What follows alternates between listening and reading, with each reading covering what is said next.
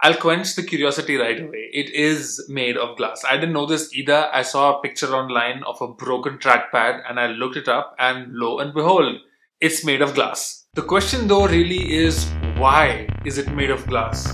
When the whole computer is made of aluminium, why is this one little thing made of glass? It's because they're obsessed with friction. They want your finger to slide as effortlessly as possible on the surface of the trackpad. Back when the first iPhone came out, they were such staunch believers of the capacitive display. And I remember looking this up as a kid. All Windows phones I knew back then used resistive displays, but Apple focused on the capacitive display.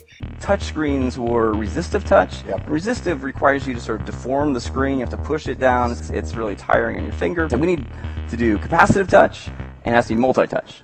And Windows clearly thought that it's not very precise. You can't point exactly the right square centimeter and that's why you need a stylus. But Apple has consistently been focusing on capacitive displays which are not the most precise but are the most effortless to use. I used to own one of these HTC Windows Artemis phones. I really loved it back in the day because it was a big deal.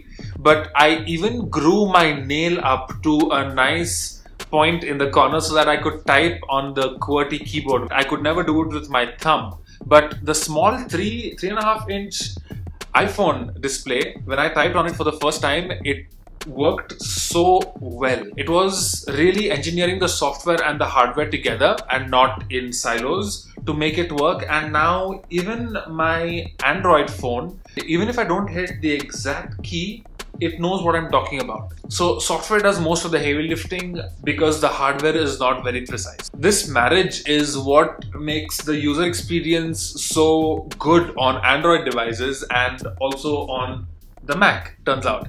Windows has a lot of catching up to do. On my work computer, there is also a small glass trackpad. But if I want to make a rather simple selection of selecting a few cells in Excel, as elegant and beautiful as this looks, it just doesn't work.